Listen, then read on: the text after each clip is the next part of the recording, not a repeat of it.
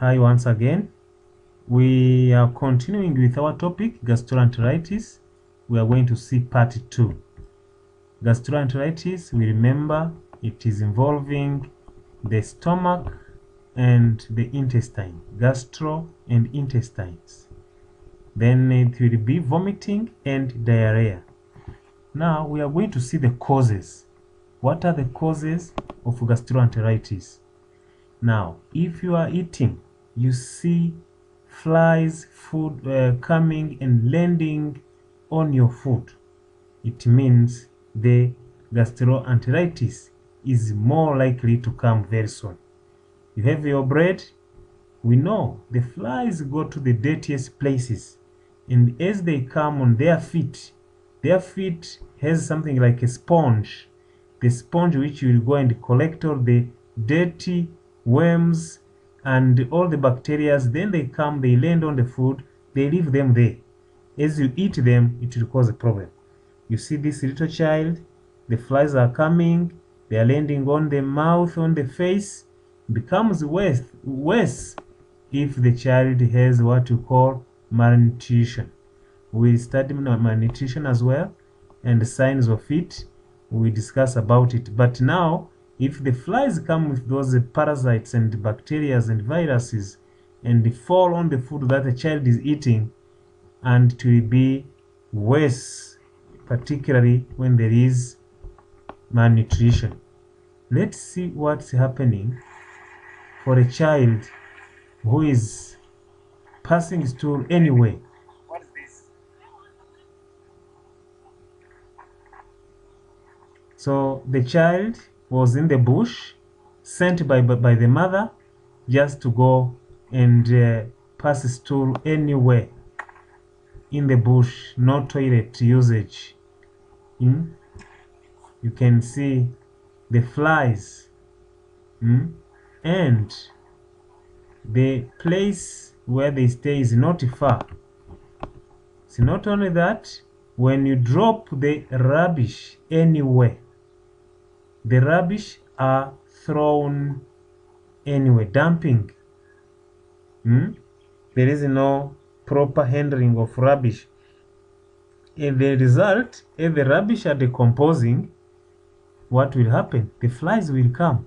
You can see the flies are all over.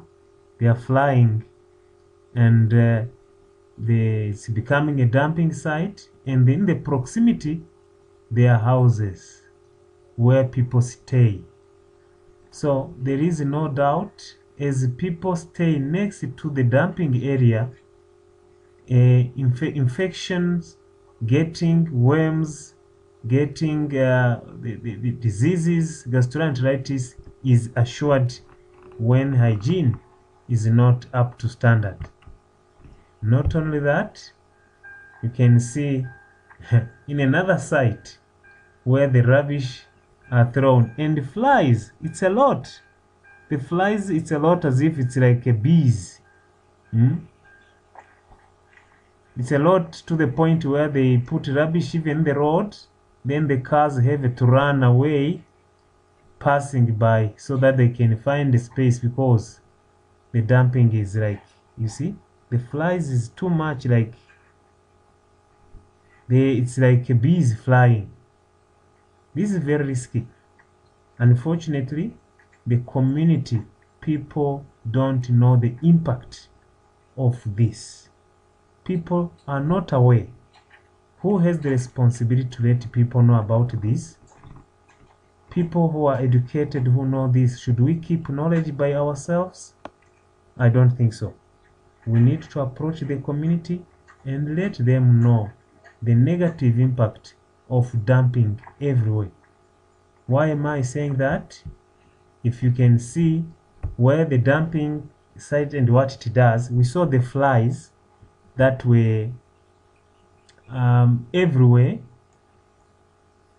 flying as if it's bees. Now they will lay eggs in the rubbish, hmm, which is busy decomposing. All these are maggots. You can see the maggots. They are multiplying on a very high speed. the maggots are going to become flies very soon. It won't take long. And as they come from this spot, in this, this place, now they will fly and fall on that bread that we saw. Mm? And the child will eat it. Not only that, when the rain comes, the rain will take some of the rubbish, all the dirty inside, all the stools that children do pass on the streets, on the roads, in the bush, then the victim will come and drink this water. It is unfortunate that many African countries still have a lifestyle like this one, where people are still drinking um, water from the lakes, hmm? water which is not clean. There is no clean water. Dear leaders, whoever you might uh, uh, see this video, whoever in whichever office you might be in, don't you think you can do something about this? Whatever position you were given, can't we do something about this? This is very sad. It's very sad. Brothers and sisters, let's continue. Let's not give up. Health education, health promotion. Let it be our song and let it sing it together. Let us sing the song of health education, health promotion together.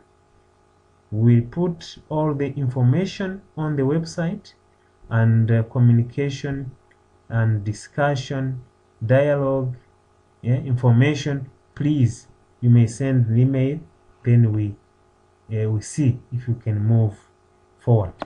Thank you so much.